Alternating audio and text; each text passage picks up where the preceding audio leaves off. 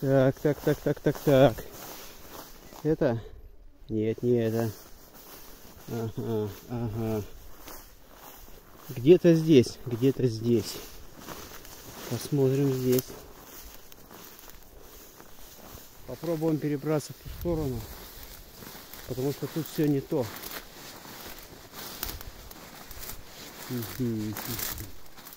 Так, так, так, где же она, где же она, эта трава? Ага, вот она, вот, дорогие друзья, вот я ее искал, посмотрите. Вы подумайте, вот это и вон там, это все одно и то же. Вот это и это.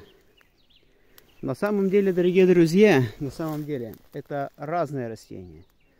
И вот это растение, которое я и хожу ищу здесь, на поле уже целый час, является очень редким. Оно занесено в Красную книгу России.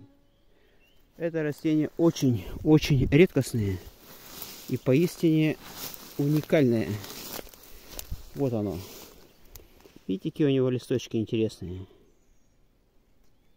Вот такие. А у этого растения вот такие.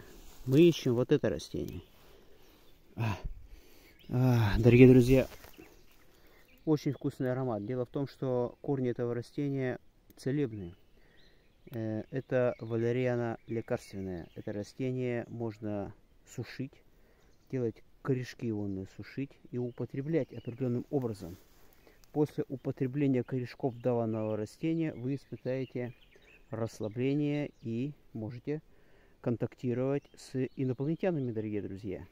Но как готовить настоечку или как употреблять данные корешки, я вам, конечно же, не расскажу.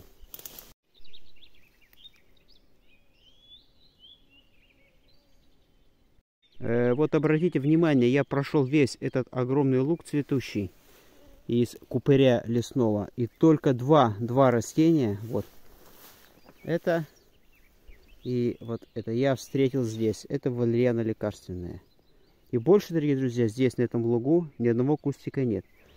Я знаю место, где целый луг, вот такой огромный, растет только на валериана. Но вам, конечно, я не расскажу это место. Это место засекречено, засекречено, дорогие друзья.